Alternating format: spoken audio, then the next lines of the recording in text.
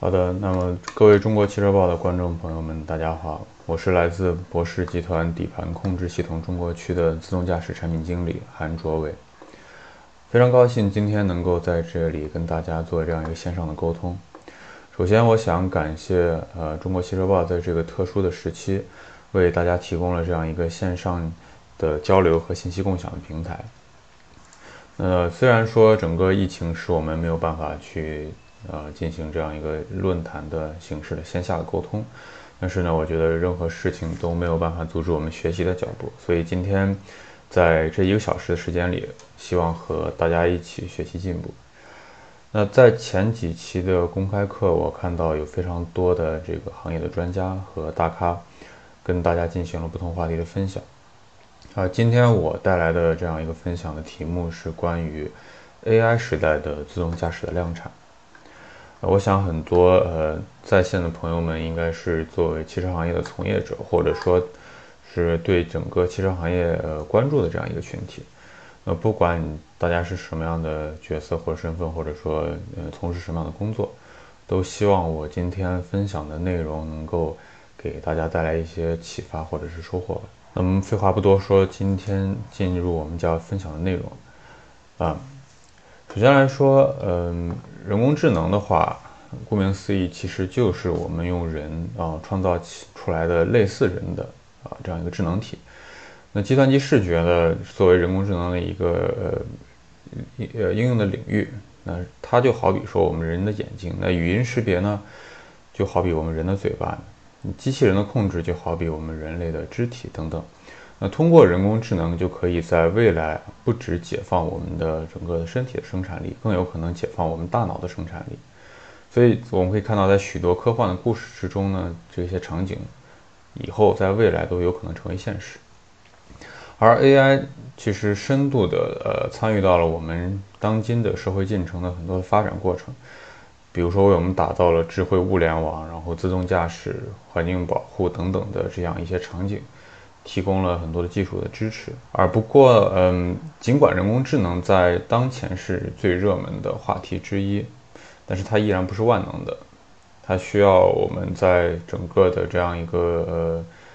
走向产品化的过程之中，学术界和工业界一起去努力。所以，面临这样一个大的时代背景底下，我今天会就以下三个点主要进行一些介绍和展开。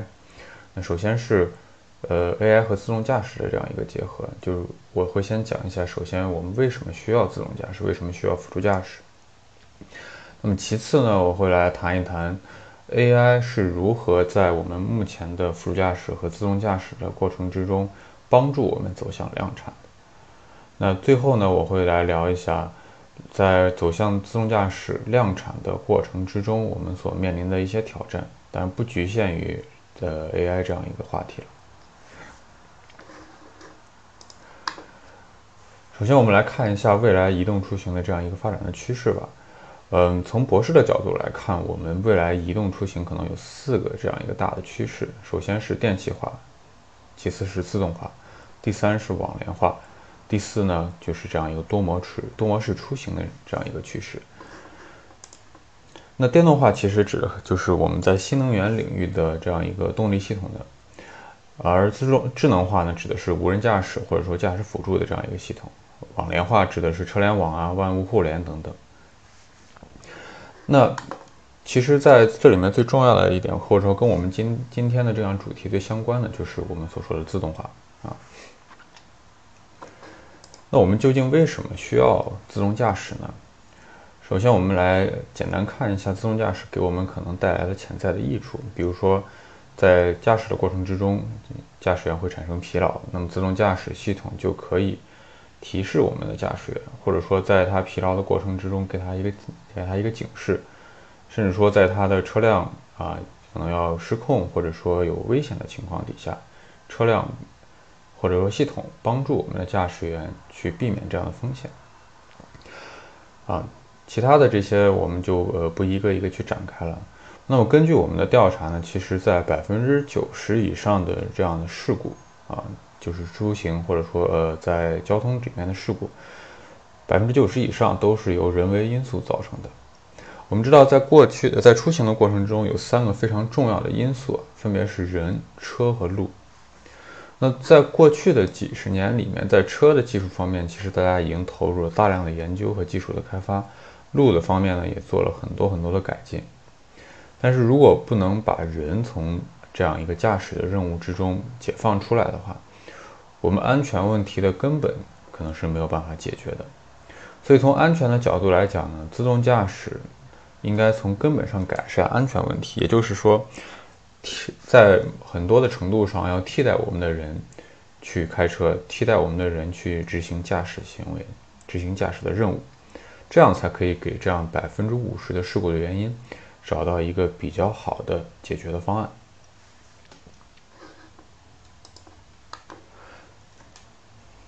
而根据呃我们自动驾驶的这样一个调查研究表明啊，中国的消费者其实对于自动驾驶的接受程度，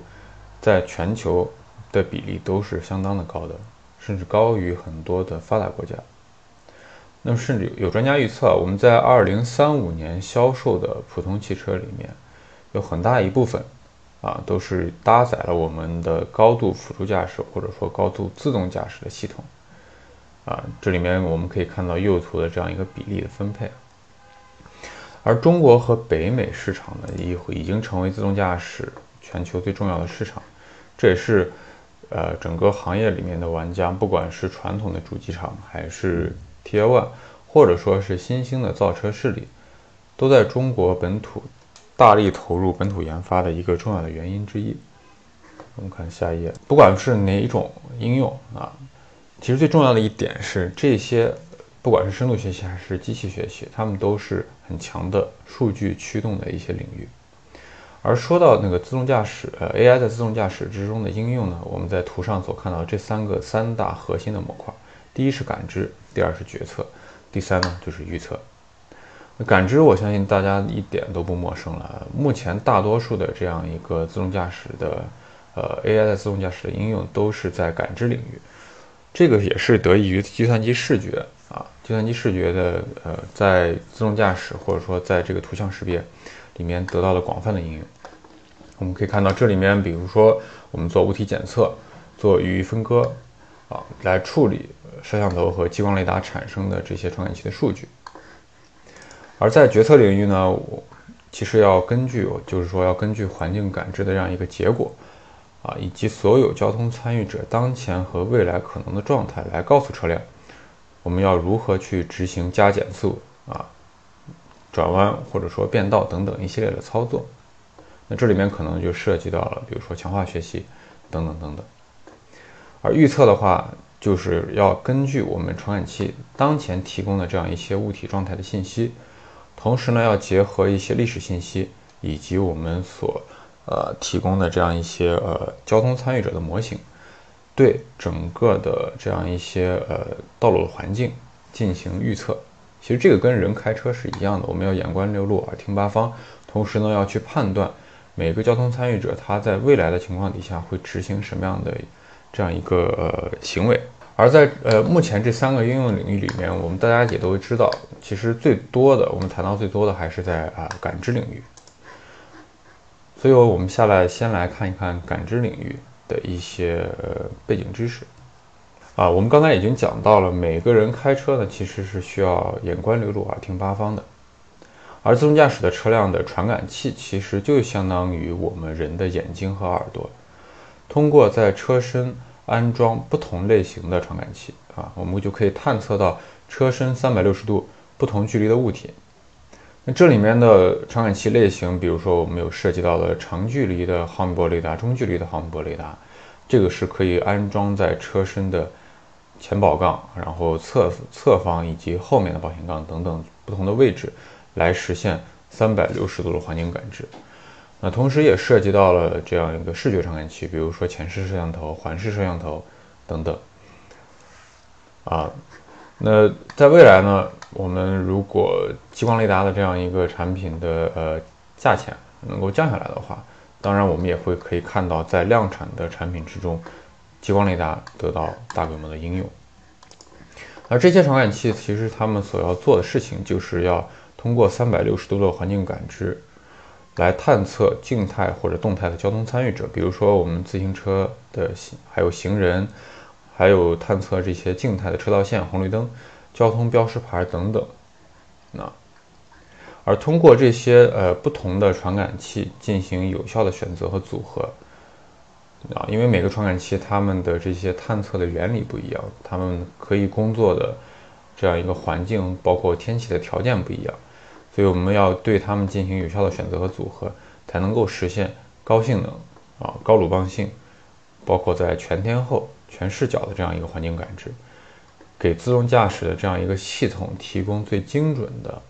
这样一个环境的输入啊。而在不同呃等级的自动驾驶里面呢，我们可以看到它的这些呃所需要的传感器的数量是不一样的。如我们刚才所说呢。这个在感知系统里面，我们要去选择不同传感器的这样一个类型的配比。我们可以看到，从二级的自动驾驶，我们大概需要这样六个传感器，就是五个啊呃毫米波雷达加上一个前视摄像头这样一个典型的配置。到三级的自动驾驶，我们可能需要十五个传感器，而到四级的自动驾驶，我们甚至需要五十个甚至更多啊的传感器的配置。它的其实的目的也是为了在不同的这样一个自动驾驶的顶等级里面，不同的工况里面，实现真正的高鲁棒性、高性能的传感器。啊，因为到三级和自动四级自动驾驶的时候呢，其实我们刚才提到了，责任的主体从我们的驾驶员转换到了整个的系统，所以我们从感知、决策和执行这三个不同的领域里面，都需要对于我们所需要的这些呃传感器或者说计算单元进行冗余的配比，从而保证整个系统的安全。那我们说完感知，我们来看一下啊决策。那如果有了大量的这样一个呃呃传感器的这样一些数据的输入的话，其实最重要的一点就是我们如何去及时的。有效的进行传感器的这些处理。那这里面我们可以看到啊，呃，在不同的这样一个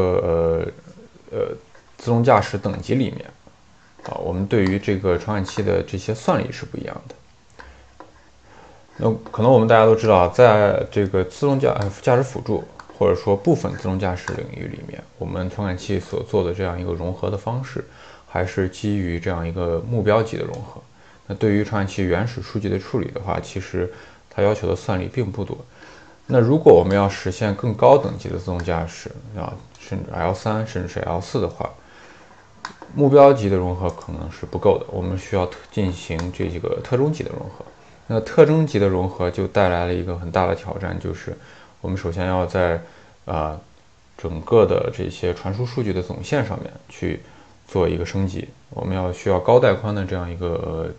电子电器架构，同时呢，也需要我们的中央的控制器、中央的处理器实现高算力。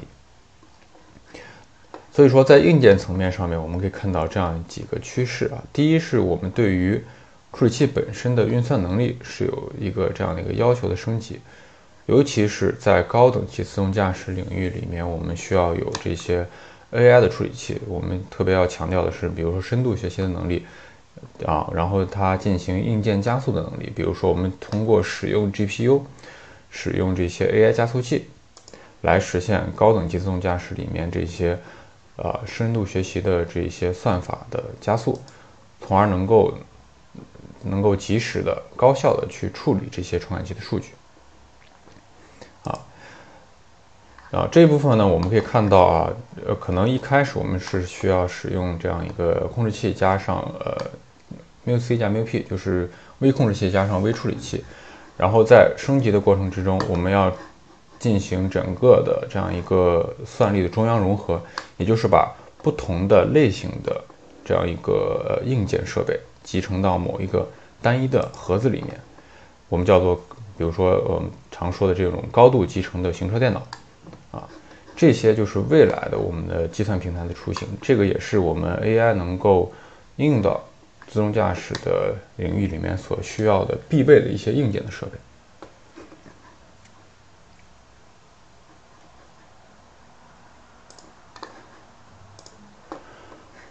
啊既然我们讲到了一些呃 ai 的应用的话我们这里面先简单的看一下 ai 究竟在自动驾驶里面它目前是怎么来用的。啊，对于感知，我们刚才已经提到了它的重要性。作为车辆的眼睛和耳朵，作为系统决策的一个输入，它的重要性是不言而喻的。而深度学习和机器学习在图像识别方面，其实有了非常多的基础研究。啊，深度学习的特点是什么呢？就是在于它要把它有这样一个深度结构的神经网络的结构，在整个不同层级的深度的神经网络里面有非常多的这样一个隐含呃隐含层，我们叫做 hidden layer。在神经网络里面有输入层，而输入层的这些神经元呢，我们连接到车辆输入的传感器的原始图像，比如说我们有这样一个两百万像素的摄像头。啊，每一个像素就是我们输入层上面的一个神经元，而隐藏层的这样一个作用呢，我们也可以看到这个图里面的隐有非常多的隐藏层。隐藏层作用其实就是要把输入层和输出层进行这样一个连接，而随着我们这样一层层的逐渐的深入，每一个神经元所携带的信息啊也会变得高度的聚合。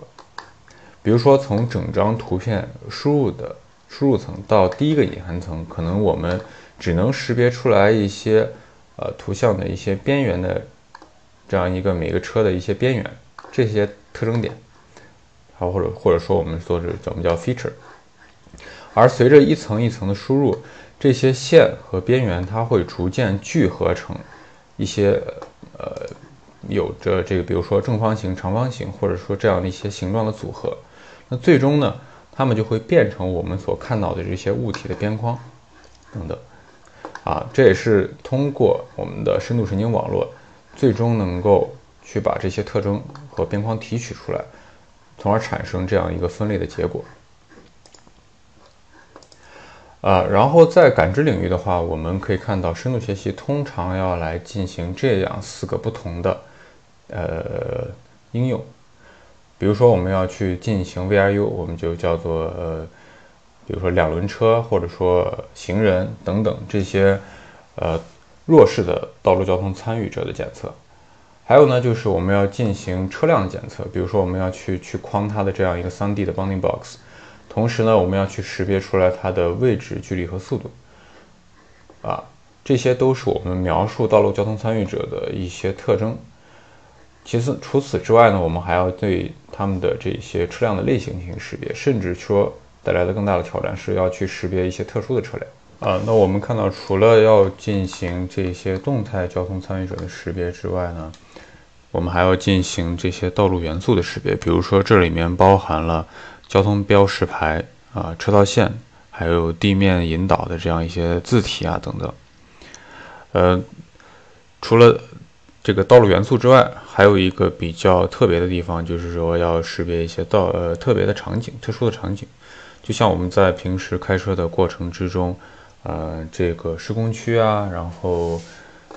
嗯，这样一些道路的这个特征的变换，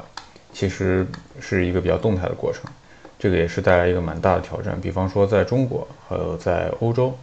我们的施工区的这样一个设置的形式都是不一样的。所以说，我们要去收集不同类型的这种呃特殊的场景，然后建成特定的场景库，才能够对这些场景进行有效的识别。这也是目前嗯在环境感知领域里面一个比较大的挑战。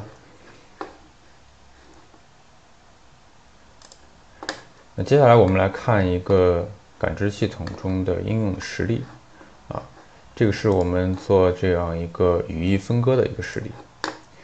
语义分割指的就是说，我们要对于我们输入的每一帧图像中的每一个像素进行语义的识别。语义的识别意思就是代表它要去找到每一个像素它代表的是什么的意思。就像这里，我们把摄像头视野范围之内的环境用不同的颜色标记起来。啊，浅绿色就是我们的车辆，然后灰色就是。和不相呃不相关的一些道路的静态的建筑，啊，绿色的话可能是一些植物，红色就是我们车辆所能够行驶的这样一个区域。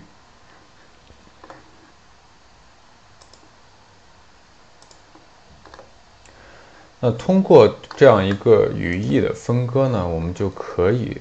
让这样呃，我们就可以让自动驾驶的车辆根据我们所分割出来的不同的区域进行行驶。比方说，这是一个用摄像头在真实的路况里面进行语义分割，然后进行自动驾驶的一个示例。啊，我们可以看到前方的车辆，包括周边的环境，其实在光照对比度比较明显的情况底下，是能够进行非常好的识别的。前面有摩托车，然后对对向的车辆都可以通过语义分割的方式进行识别出来。甚至说，像在这种乡村的道路情况底下，没有车道线。啊，没有任何的道路边界的时候，通过卷积神经网络加上我们的语义分割的这样一个算法，就可以是有效的判断出来车辆可以自由行驶的空间，就是能够让我们的系统把车辆维持在这样一个可行驶区域里面。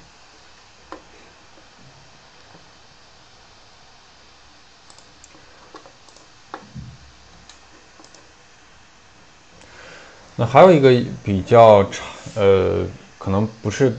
那么经常被提到的一个案例啊，就是说我们 AI 在人机交互里面的应用，尤其是在驾驶员监控的这样一个领域。那这里面包含了几个比较重要的点。第一个是我们要去做人脸的识别，啊，现在不管是智能座舱也好，还是各种各样的呃导航娱乐系统也好。可能对于人脸进行识别之后，建立相应的这样一个呃用户的 ID，啊，就是一个典型的应用。而在跟辅助驾驶和安全相关的领域，我们很重要的一个因素就是要去识别出来驾驶员当前的驾驶状态是不是处于保持在一个专注的状态，也就是说要去检测出来驾驶员他是不是分心了，啊，还有驾驶员是不是疲劳了，驾驶员有没有在干一些和这个驾驶行为不相关的这样一些事情，因为这些事情都可能在，比如说在这个二级的自动驾驶的情况底下，因为人依然是驾驶主体，但是用户很有可能对于系统产生依赖或者是误用，那这个时候通过驾驶员监控系统就能够识别出来这些潜在的风险，啊，所以说驾驶员监控系统里面背后其实也是有非常非常多的 AI 的应用的。啊，这样的产品呢，其实我们在市面上已经可以看到，比如说我们在二零一八款的这个呃通用的这个 CT 六啊，我们他们叫超级巡航 Super Cruise 上面已经搭载了这样一个 DMS 的系统，驾驶员监控系统，来对驾驶员的这样的不同的行为和状态进行识别。嗯，这个我们可以多说一点，就是说呃，在无人驾驶的汽车上面配备。呃，我们可以看到，我们配备了这样一个系统之后，就可以分析当前的这样一个驾驶员的状态。这个其实也是面临的一些欧盟新出台的一些法规的要求。比如说到二零二一年，啊，这个欧盟的 NCAP，我们的 NCAP 是要求整所有的汽车生产商新车是要配配备这样一个驾驶员监控系统的。所以说，不难看到将来的这样一个驾驶员监控系统的发展，其实。是有助于加速 AI 在自动驾驶行业里面的落地的，而 DMS 的产品其实啊，驾驶监控系统这样一个产品，其实它所要面临的关键的点是在于我们要检测，首先要识别出来人脸在整个座舱里面的位置，那出其次呢是要对人脸上面的关键点进行一些检测，比如说我的眼睛的位置，比如说整个唇部的开合的位置状态。包括眼睛它所注视区域的这样一个信息，都是整个呃驾驶员监控系统所要识别出来的一些关键的地方啊。通过对这些识别出来的信息进行有效的结合，才能够判断出来驾驶员当前的驾驶状态是什么样子的，驾驶员是不是分心了，是不是打瞌睡了等等。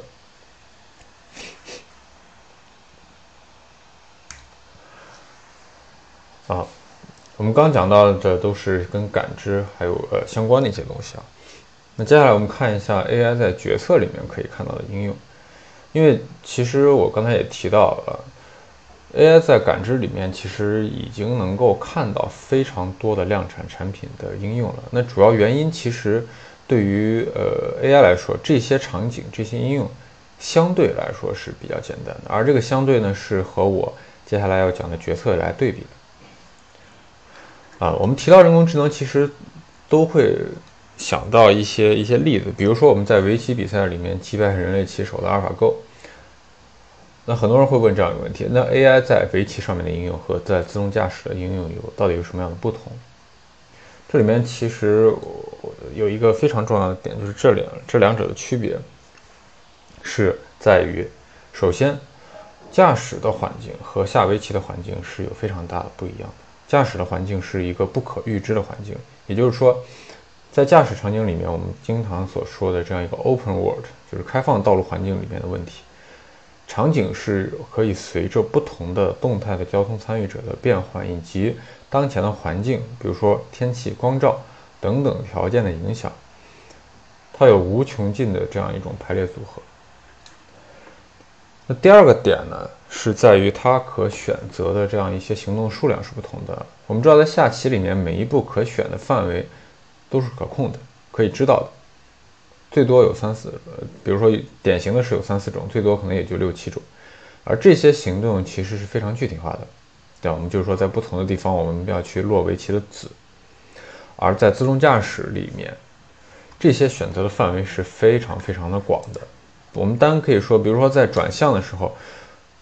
一个右转弯就可以有非常多的不同的转向的程度，这样就带来有不同。非常多的不同的这样一个可行驶的呃这样一个路径的规划，因此在自动驾驶的场景应用里面呢，机器其实是有非常多的选择空间的。这是我们说第二点不同。那第三点是在于两者可以量化的程度和计算程呃和计算的程度也是不一样的。下棋的时候，机器可以提前计算出来不同步骤底下我们可以产生的结果，啊，对对手的预判呀也会非常的准确。而在驾驶环境里面是非常不同的。路面上我们可以有认为多，它是有多个啊决策者相互交互的这样一个场景里面。比如说，我们自车是一个交互体，而行人呢，其他自动其他人工驾驶的机动车呢，也是我们相应的决策者，他们有自己的行为策略，但机器呢没有办法去保证对他们的行为一直做出准确的判断和预测。所以，从这三个不同的角度来，我们可以看到，自动驾驶和机器相比，是有非常大的不可预知性的，它的挑战也是非常大的。这里面我们可以看到有两种不同的方式啊，就是一是我们去做这样一个上层上面的这样一个模块化的设计，可以训练多个不同的模型来去做；还有一种方式，我们可以去做这种端到端的决策的学习，直接去模仿，通过大量的数据输入。直接去教会我们的机器模仿人类的驾驶行为，比方说强化学习，叫 reinforcement learning，它的重点其实是训练我们的神经网络的神经元去模仿人类的驾驶行为。但是呢，它是一个和实际的驾驶环境直接强相关的，而这些驾驶行为对这些环境也会产生影响。比方说，车辆将会自行的判断。当前的这样一个决策行为是好还是坏？比如说，这个这样一个一个驾驶的决策，它会撞上别的车，还是说会能够正常的保持在本车道内正常的行驶？而这样一个判定，系统的算法可能会收到一个正面或者负面的这样一个反馈，而这个反馈呢，可以再进一步加强整个系统的算法的这样一个一个迭代。所以说，这是目前 AI 在决策系统里面的啊几个典型的应用，这也是目前 AI 在决策系统里面的比较大的一些挑战。那还有一些应用呢，比如说我们在 AI 可以在仿真环境里面去应用，啊，通过大量的仿真，我们可以去验证系统的这样一个可靠性，模拟不同的光照和天气条件底下的场景，这。带来的第一个好处，我们可以极大的减少路试验证所需的工作量，啊，因为很多的时候我们没有办法去通过大量的路试去采集各种各样的场景，所以呢，很好的一个好处就是我们可以通过 AI 去模拟这样的场景。那这里面博士所带来的考虑是，我们可以第一通过真实世界的验证，我们叫做道路验证，来去判断我们的系统是不是有足够的强的鲁棒性。同时呢，比如说像这样一个场景，我们没有办法去啊做这样的一个实验，就是一个小孩子穿横穿马路，不可能去搭建这样一个真实的场景去做测试。那我们可以去通过 AI 来去对这样一个场景进行模拟和真实场景的重建。同时呢，我们可以去。去怎么说呢？我们可以去添加一些不同的这样一个一个场景库，比如说我们刚刚看到的这些夜晚呀、下雨天呀，或者说下雨天加夜晚呀，不同的光照和天气条件底下，对同一个场景进行不断的仿真和叠加，这样就可以减少我们所真正需要实车在道路上面进行跑的这样一个总的里程数。同时呢，也减少了我们需要去通过实车验证、实车去跑路测啊这样一个工作的这样一个危险性。所以这是 AI 可以在整个自动驾驶的量产的每一个环节都可以提供非常多的便利和帮助的点啊。我们可以看到，就是在不同的天气光照条件下，都可以通过建立这样一些仿真的场景。来去实现对于系统的验证。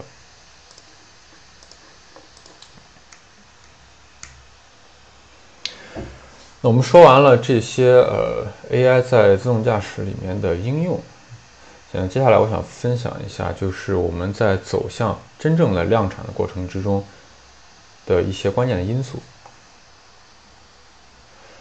首先，我们来聊一下数据。啊，在一开始我其实提到了。不管是深度学习还是机器学习，数据是驱动整个算法进行迭代的一最重要的一环。我们甚至有一种说法叫做“数据是新的石油 ”，“data is the new oil”。那表达的意思呢，就是说我们可以从我们所获得的数据中，我们所采集的数据之中获得非常多的资源和商业的机会。现在的所有的 AI 的算法性能的提升是离不开大量的数据积累的，而数据的处理、标注，或者说我们对于数据整个质量的把控，是我们改进整个算法的最重要的一环。那这里面就引出了第二个核心点，就是算法。那人工智能从上世纪六十年代被提出到现在已经有快六十年了。那在这个期间，每个时期其实。都有人工智能不同的一个一个重点。那一开始的算法，我们可以看到是传统的机器学习，通过对于数据的观察和总结，在那个时期的顶尖的科学家设计出来了一套基于规则的这样一些算法，我们也可能叫做模式识别。一直到后来八十年代中期的人经人工神经网络的出现，再到啊这个两千年初。各种各样的深度神经网络的这些模型的设计，那这里面不管是模型的训练和优化，还是说新的模型结构的提出，啊，又或者是模型在这个端侧的硬件的部署和性能的优化，背后都有非常多的行业的专家和研究人员付出的呃很多的努力。那最后一个关键点其实是关于硬件的，我们有非常海量的数据，我们有非常庞大的模型。模型的深度、复杂度也非常的多，非也是呈这个几何指数增长的。那在训练的和和我们进行推理的过程之中，如果没有这样一个良好的硬件平台的支撑，啊，没有高性能分布式的这样一个强大的计算平台，那我们是不可能去训练出好的模型的。从一开始我们对呃应用 CPU 进行训练，到后来用 GPU 或者说 FPGA 进行训练。再到现在，我们比如说用专用的这样一个 TPU，或者说呃 ASIC 来进行训练，其实业内也是越来越意识到整个硬件对于呃整呃 AI 的应用是一个非常重要的一环。所以说，从数据、算法和硬件三个不同的因素角度来看，AI 在走向自动驾驶的这个量产。还是有非常非常多的问题要解决的，而这三个核心的因素呢，它们相互之间又是紧密的结合和依赖的。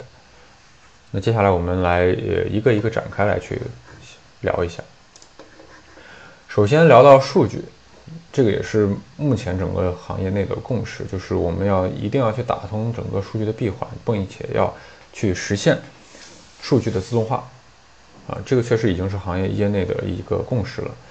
而数据闭环的自动化，在整个我们对于 AI 的算法，包括对于自动驾驶大脑的这样一个快速的迭代，是一个最好的系统化的方法。它可以打通整个研发环节的这样一个迭代反馈，同时呢，很大程度上面呢，可以去减少我们所需要的重复劳动，让所有这样一个呃 AI 相关的呃工作人员。整个在研发的环节里面，大家可以更专注的去实现算法的核心价值，啊，可以把我们整个产品的迭代的效率提升到极致。那前面我们其实，在感知领域里面已经看到了自动驾驶场景的复杂性和高度的不确定性。那么，克服这样的困难，其实是需要有足够多的这样一些场景和案例，以及测试数据的支持积累。来支撑的，那只有积累够这个足够多的测试里程，足够多的不同的场景，那机器的算法才可以得到更好的优化。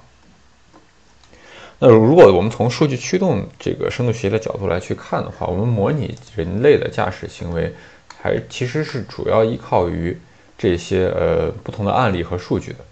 那这个时候就需要我们有足够大的这样一个车队。去在不同的路况和工况里面进行测试和数据的采集，然后同时呢，我们要去反馈说，在机器在这些场景之中是不是能够做出一些很好的决策，而一旦出现机器产生错误的决策，那这些错误啊将会驱动我们进行数据的采集，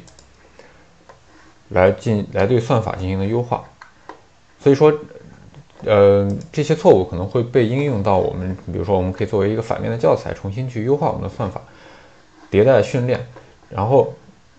在模型和算法升级之后，重新部署到我们的真正驾驶的呃，我们的这个自动驾驶的路测的车上面去。这样带来的好处就是，我们在下次遇到类似的场景的时候，机器就可以避免做出啊同样的错误。产生最好的，从而实现整个系统能够达到最优最好的决策。所以说，从呃整个这个自动驾驶产业链的角度来讲，数据闭环是加速了整个算法模型迭代的一个过程，实际上是给基于这些数据进行开发的整个 AI 的生产环节提供了最基础的工具链的支撑。所以说，这是整个啊 AI 在自动驾驶量产里面所要解决的最基础、最重要的一环，也就是数据闭环的自动化。那第二点，我们来聊一下生物学习的这些算法评价指标的参考。首先，我们这个我们这个环节，我们这个整个的讲座其实不是为了去讲 AI，或者说是去讲深度学习的。所以这里面我不会去太多的深入到，啊，整个深度学习里面它会去怎么做。但是呢，我们想去强调的一点就是说，我们需要对整个深度学习的算法进行一些量化的，呃，进行指标性的评价。这里面我们关注的点是我们设计好的一个模型的算法，我们用什么样的度量的指标来去判断它。这里面我给出来了一个论文的参考。啊，它是来自于 MIT 的一个研究项目，针对于我们的深度神经网络部署在硬件里面，我们用什么样的指标来去衡量它？我们可以看到这些衡量的标准，首先是精度啊，比方说我们做检测，肯定要看的是整个 ROC 或者说 AUC。当然，这些的呃评价的标准实际上是要在某个特定的测试样本集底下得到的结果。那我们如果用深呃用新的这样一个测试样本模型，是否能够保证同级别的精度？啊，也就是说我们所常说的这样一个泛化的能力，就是我们去衡量这样一个模型的标准之一。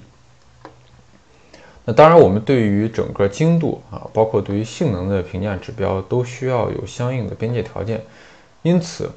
啊，模型的网络结构，包括它的权重的数量，以及它的这样一个 MAC 的数量，也都会纳入到整个评价的这样一个范围之内啊，因为在实际的实际的应用场景之中，我们不可能有无限多的计算资源，尤其是在车载端嵌入式的环境里面，我们可以给深度学习算法分配的时间和空间的计算资源都是非常有限的。所以，我们以表中为例，我们可以看到这几种不同的网络结构、不同的网络模型啊，分别是 AlexNet、VGG 十六，还有 Google Net，还有 ResNet 五零。我们可以看到这几种不同的网络，它的精确度实际上是在提升的。不过，我们同时也要需要注意的是，模型的复杂度也是呈，也是一个一个提升的一个一个趋势。所以说，你精度。提升的越高，你所需要的模型的复杂度也就越高。那最终带来的一个结果就是，我们的网络结构所需要的存储和运算的资源也是非常不同的。那最终，我们要去从这几种不同的维度来去评判每一个深度学习的算法，这也是我们走向量产所要做的一个非常的关键的点。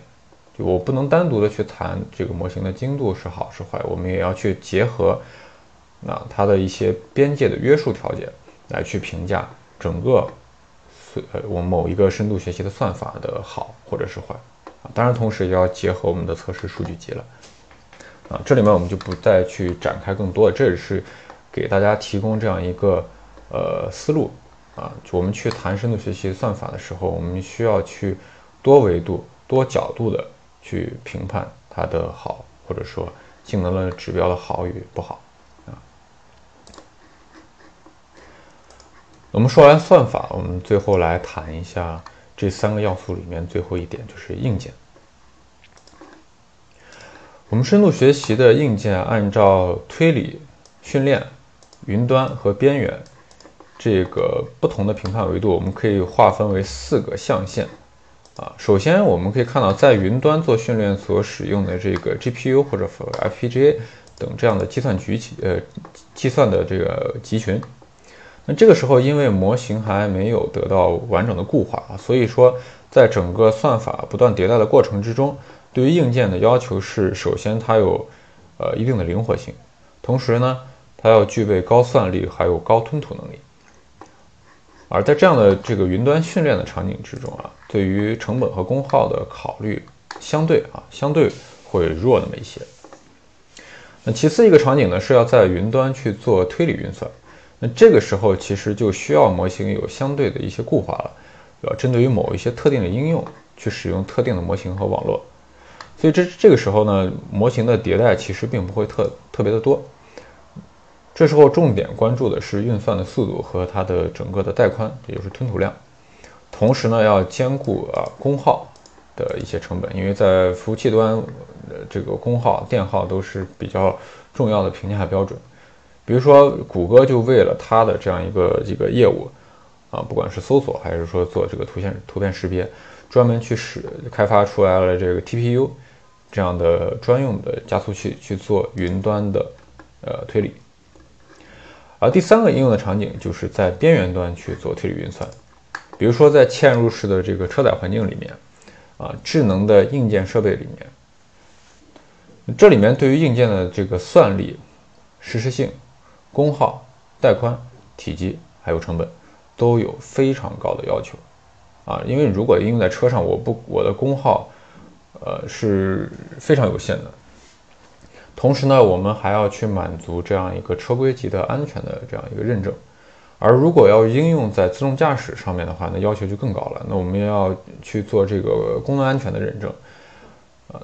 所以这个对于整个 AI 加速硬件来说，在于车端的应用边缘推理。是有非常大的挑战的。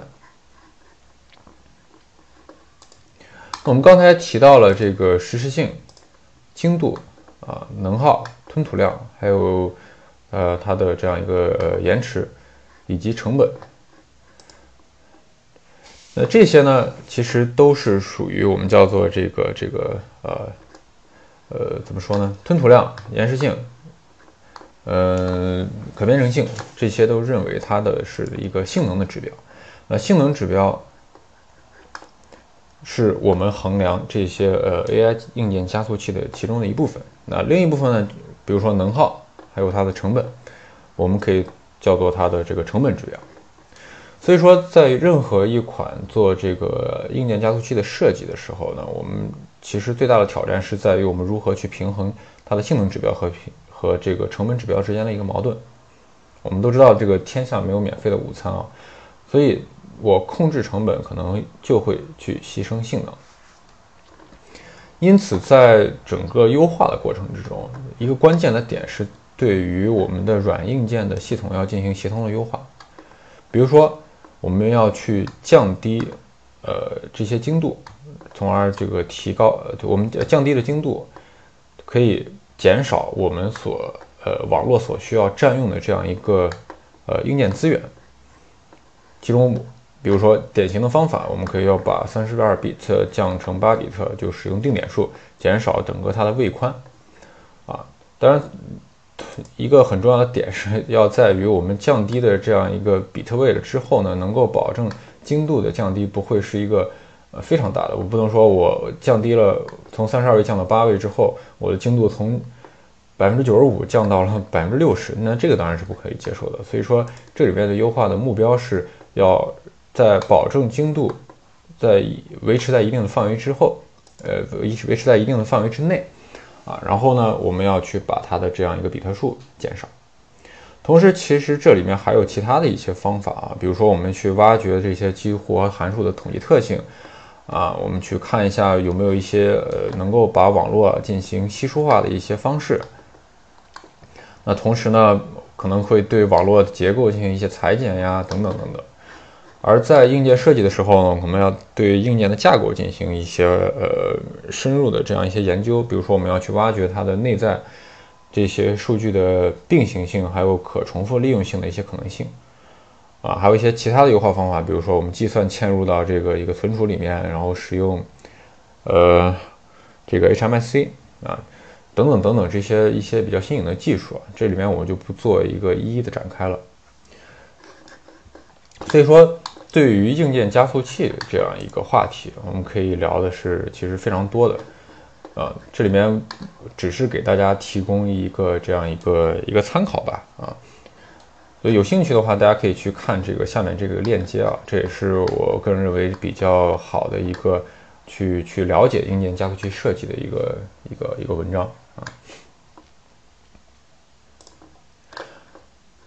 我们这个里面可以来看一下，呃，一个深度学习在车端的一个推理运算的一个应用啊。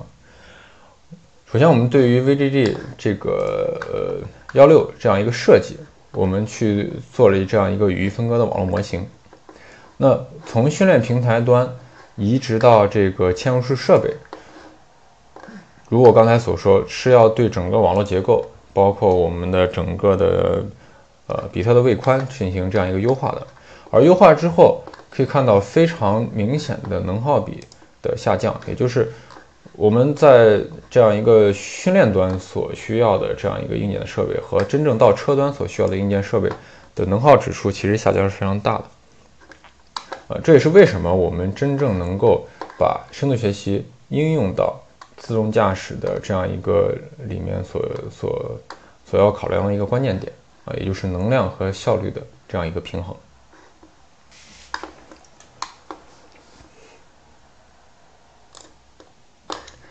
那我们说完了这个 AI 应用在这个自动驾驶领域里面的不同的场景，比如说感知、决策还有预测，以及 AI 的这个三个关键点，就是数据、算法和硬件。那我们接下来谈一谈，呃，AI 在自动驾驶里面所面临的一些挑战和需要解决的一些关键的问题。那相信对 AI 有了解的朋友都知道，那深度学习。的可解释性啊，它的黑盒问题一直是整个领域里面研究的重点。因为在传统的机器学习领域，不管是基于规则的，还是基于这个滤波器的这个算法设计，那最终输出的结果，不管它是对或者是错，我们都可以通过分析和拆解找到它的一些根源。而在深度学习领域里面，由于网络的这样一个隐藏性、隐藏层增多。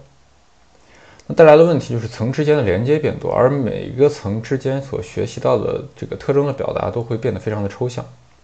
很难说通过啊这个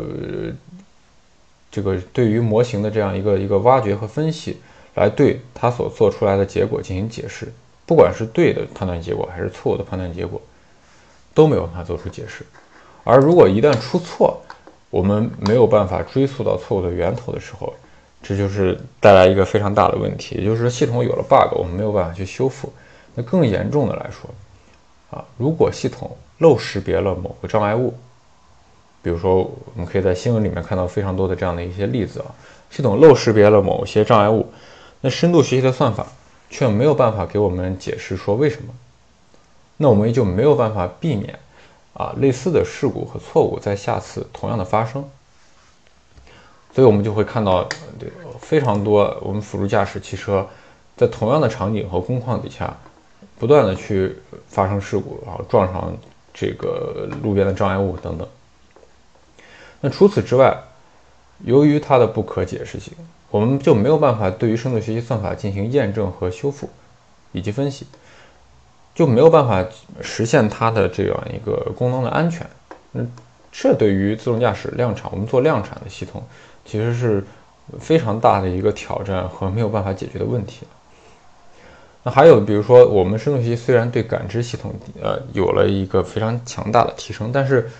还是没有办法去解决决策和规划的问题。而这些领域其实是呃需要去我们结合传统的算法一起来去实现的。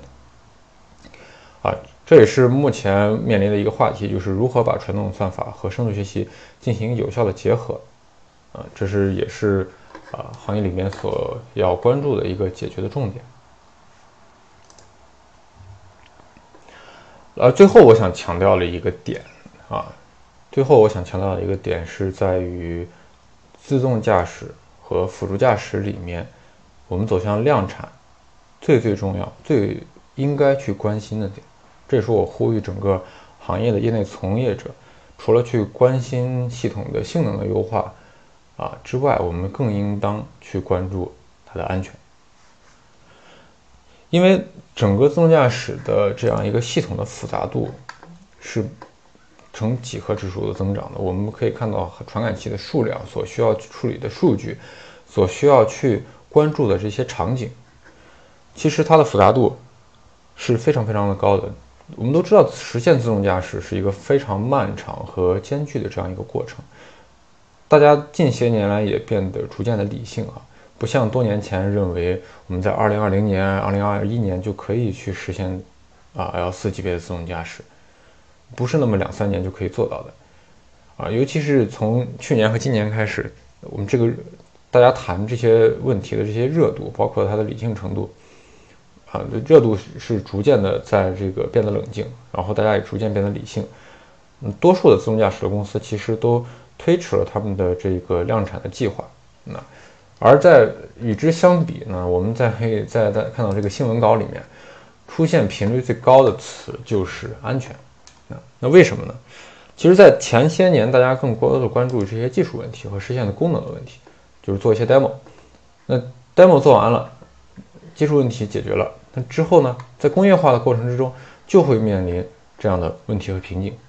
我们可以看到，在汽车行业里面有一个非常啊有名的模型叫微模型，就是在指的是在开在开发的过程之中，我们要把系统的整体分解到每一个子系统里面去，啊，拆解到每一个元件里面，在整个验证测试的过程之中呢，我们要去验证每一个元件、每一个子系统的这样一个设计的要求。我们可以看到，从左侧的这样一个功能的定义，一直到最右侧的最终的量产，啊，测试和验证，我们只是在微模型的右边。我们可以单看流程来说，可能啊，这两个测试和验证占到了可能有百分之二十。但是我们都知道，这百分之二十的这样一个流程上面的比例，往往会花费我们百分之八十甚至百分之九十的时间。来去做，也就是所说的这个长尾理论啊，百分之九十的这样一个一个工作量，可能只体现在流程里面的百分之二十的东西。啊，这也是为什么我们看到很多做自动驾驶的这些呃公司，啊，花了非常多的大量的时间去跑路测和验证，而这个验证是一个极其极其漫长的过程，包括里面我们使用什么样的标准、什么样的测试方法，这些都是目前没有去解决的问题啊。那除了这些验证和释放之外呢，我们法律法规可能还是有所突破，才能够实现。最终的这样一个自动驾驶，所以说从量产的角度来出发的话，我们要去关注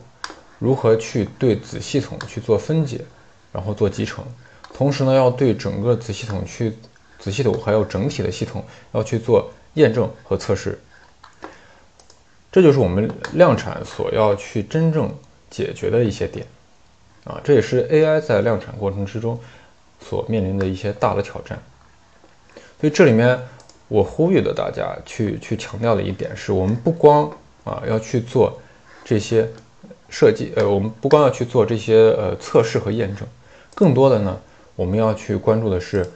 要从设计的层面就要去保证整个系统的安全，同时呢，我们要去有这样一个相应的测试和验证的流程和规范。也就是我们不光要去验证它的安全，我们更多的是要去设计它的安全。安全的目标是要通过安全的设计来能够最终实现的。啊，所以这是我最后所讲的一个最关键的点：我们如何去走向自动驾驶真正的量产。那最后呢，我想。提出一些对于新技术的展望吧。我们可以前面看到一些已有的一些应用啊，以及 AI 目前所面临的一些挑战，以及我们走向量产所要关注的安全的重点。那新技术是什么呢？这里面我引用一下这个生物学系的大牛啊，也是他们在今年的这个 SLA 里面所讲到的一个关键的点，就是我们要如何去把人类和动物。啊，人类和动物，我们是通过观察大量学习的背景知识，啊，而这些背景知识有可能会和我们当前所使用的某些应用场景是没有直接相关的，它是一些更 general 的一些背景知识，而我们人类和动物是可以把我们观察到的这些大量的背景知识，啊，应用在不同的场景里面去的。我们如何去教会我们的机器去做同样的东西？这其实是目前整个呃生物学习领域或者说 AI 领域所关注的一个点啊，比较有前景的一个方式就是通过自监督学习，叫 self-supervised learning，这个是未来行业里面所关注的一些重点吧。啊，这也是给大家在最后提出了一个新技术的一个展望，我们可以去关注一下近两年在 SSL 领域里面的一些应用。啊，有相非常多的一些论文呀，然后一些一些讲座呀，我们可以去关注一下这一点。这个可能是未来 AI 能够应用在自动驾驶领域的一个非常有希望的一个新技术。那最后，我想对我今天的这样一个呃交流做呃最后的一个总结啊。我们首先可以看到，AI 是实际上已经。非常多的应用在我们自动驾驶的感知系统里面，啊，同时呢，在这个决策和预测领域里面有了相对的一些研究，但是还没有得到真正的这样一个自动驾驶的应用。那其次呢，数据闭环已经成为了自动驾驶的这样一个算法快速迭代的最关键的一个点。与此同时呢，应用在车端。实际上，能力、能耗和算力是需要我们通过一些 AI 的硬件加速器来去解决的。那真正能够去把这些高精确度，然后非常厉害的这样一个人工智能算法能够得到自动驾驶应用所需要呃实现的一个关键点，就是我们硬件的加速器。那第三个呢，就是我们的安全和验证是。目前尚待解决的一些问题，啊，也是我强调的点，就是安全，我们不是去通过验证，不光是通过验证验证出来的，同时呢，也是要通过在设计阶段就要去关注的，去去关注的一个重点，也就是安全是要设计出来的。那最终其实最后一个点，其实也是符合这个博士在 AI 方面的一个呃道德准则吧。因为大家知道，博士他是在积极的提供人工呃这个推动人工智能的这样一个研发啊，也是要去探索说我们如何去把这个深度学习、机器学习和自动驾驶的系统融合呃结合在一起，而进一步来提升自动驾驶的安全性和可靠性。呃，我们也是做了非常多的这样一个呃研究和学习吧。好的，我今天的这样一个分享就到这里啊。接下来的话也是非常感谢大家的这个聆听，然后也希望人工智能这样一个话题能够呃在整个行业里面去和大家去做这样一个交流吧。所以后面我们有一个呃问答的环节，就关于我们自动驾驶，关于 AI 在自动驾驶的这样一个落地，嗯，希望可以通过问答的方式来跟大家去做进一步的沟通和交流。好，谢谢大家。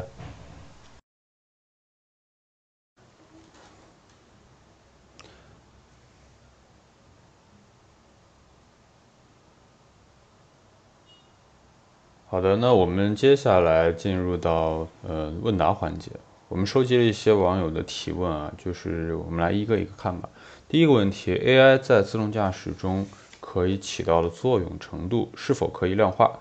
如 AI 可以使算力增加百分之几，感知范围能增加多少等。嗯，首先我要澄清一下，是呃，AI 确实是呃可以增加这个自动驾驶的某些某些性能指标，但是呢，它不是说使算力增加了多少啊。实际上，呃，我们可以看到，现在目前 AI 在自动驾驶领域的应用，主要还是集中在感知，比如说我们的车道线检测和物体的检测。呃，就是说，我们用传统算法的话，其实是可以设计一些滤波器来去对整个呃对车道线的边缘进行进行检测，或者说对整个物体的边缘进行检测，然后去把它呃合成最终的一个一个 bounding box。那么 AI 的做法其实是。通过深度学习，通过这个深层的神经网络来去自学学习一些它的潜呃比较比较高层次的一些 feature，然后呢，再用通过这个数据迭代的方式，能够让模型去这个输出的结果更加的准确，所以最终它能够体现在整体系统层面的这一些 KPI 的话，一般我们会说它的整个的检测率啊、回照率啊等等等等。感知范围的增加，可能并不是我们去衡量一个 AI 系统能够给呃一个一个一个评判指标吧。然后第二个问题，第二个问题是说，在自动驾驶研发之中，AI 是独立于部门，还是说融合于各个子系统之中？呃，我我的理解是这样子的，就是首先，呃，AI 这门技术，它作为一个比较呃。通用的，或者说可以应用在不同领域的一门技术的话，实际上我们可以呃可以说它不是说针对于专门自动驾驶来提出这样一个一个技能的。我们可以看到，至少在博士，我们有这个中央研究院是专门去负责这些前瞻的研究，去学术性的研究，包括发一些论文呀等等。呃，同时我们博士也有这个人工智能研究中心，呃，包括今年啊去年和清华大学也是建立了这样一个合作。所以我们可以看到，其实，在一方面，我们是有这个研发的投入，就是说在研究方面是有一些投入的。同时，在工程量产化的话，实际上我们会去看如何去把这些前沿的 AI 的研究，真正的用于我们在未来的可以量产的产品之中。所以目前来看的话，其实针针对你这个问题，一般来说还是独立于呃各个子部门，但是呢，又会和各个呃业务单元和各个产品线。有一个非常紧密的合作，因为最终我们做研究的目的还是能够希望它能够用到量产的产品里面去，能够真正做到落地，这个才是我们做这些科学研究的意义。啊，然后我们看第三个问题，是很多机构都在预测自动驾驶的时间表，在一些关键因素如安全问题还没有得到完全解决的前提之下，这种预测的意义在哪？啊？看来这个问题好像是质疑我们自动驾驶的这些所谓定义的所谓的时间表啊。当然，网上其实也有很多的说法，说啊，我们每天都在定义时间表，然后都在推翻时间表。嗯，这个自动驾驶的行业到底有没有未来等等？其实这个问题，我觉得应该这么看，就是我们做任何一个新的技术和新的产品，其实都要去定义一个目标啊，就以终为始嘛，就是我们先要知道我们要去哪，在什么时间走到哪里，我们才能更好的去制定我们的行动计划。这个不管是每一个人还是说我们做产品规划，其实都会是这样子的。那有了这样一个呃指导性的大的方向，我们才能够去呃去看我们需要什么样的资源，我们去需要怎么样的去计划做我们的这样的呃量产的项目开发。而而而你说的这些问题，就比如说安全问题没有得到解决，那这些问题的话，其实也是在我们真正做到量产的过程之中才逐步发现的。很多问题不是我们坐在办公室里面拍脑袋，只是做 demo 就能够去找到答案的，就能够去发现这些问题的，一定是要去往量产的这样一个实践的方向去走，才能够看到问题在哪里。就比方说我们在这个研究的过程中，我们可能去用这个大规模的服务器集群去训练一些 AI 模型。那如果你只是跑 demo，然后把这些模型放到公控机上面，当你的计算资源有很多可以使用的时候，你永远都不会感觉到。在一个嵌入式环境里面，在计算资源整车真正量产的这样一个环境上面，在所有资源都有限的情况底下，我们如何去保证相同的这样一个性能？这个才是真正做量产的过程之中才会面临的问题。所以时间表的目的，一方面是指导我们开发，另一方面也是让大家知道我们要往哪里走。而这些问安全问题的这些呃解决方式，实际上是要在这个过程之中逐步被解答的。